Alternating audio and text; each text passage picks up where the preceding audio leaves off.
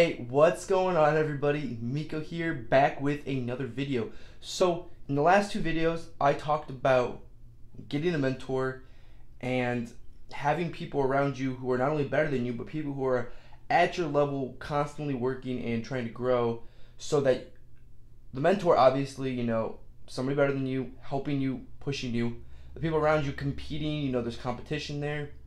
At the same time, you guys are experiencing the same things Today in this video, I want to talk about having people who you are mentoring. So people who are technically lower than you or are at a level that you were at three, four years ago. Now, the reason that this is so powerful is that first off, you yourself are now held to a higher standard. You are no longer a student, you are also a teacher. That means that you can't be going out and drinking late at night and embarrassing yourself because you are essentially this person's student and they're looking up to me. This is this person's teacher and they're looking up to you. It's a much, much different look than if you were only being taught by other people. Now, also, it keeps your integrity really high because if you're telling your student to do something or you're telling this kid who's looking up to you or even this adult who's looking up to you and using you as a role model, you tell them to do one thing, but you yourself aren't actually doing it, what does that tell the person who's looking to you for advice? Uh, obviously, it tells them that what you're doing really must not be that important, or what you're telling them to do must not be that important.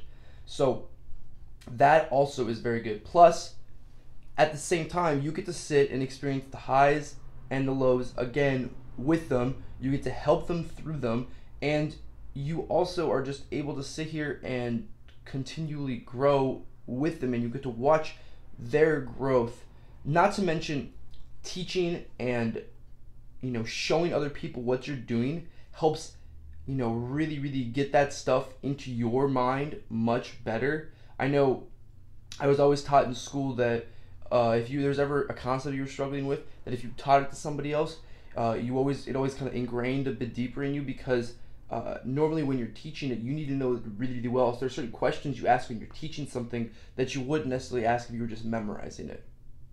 So, like I said, get a mentor, get a role model. It doesn't have to be anything huge or even anything formal. This could just be even a little brother or a little sister or a local kid in the neighborhood or a younger kid at your school or even in the company. Whatever. Try to find somebody younger who you kind of take under your wing and you kind of help them out and you help them through whatever it is they're going through, especially if it's somebody you really like and you were you can see yourself in them because it's going to help motivate you a lot more to be willing to help them and kind of go that extra mile for them, which will be the world, which will mean the world to them. All right, as always, guys, thanks, comment, share, let me know what you think about this video. Peace.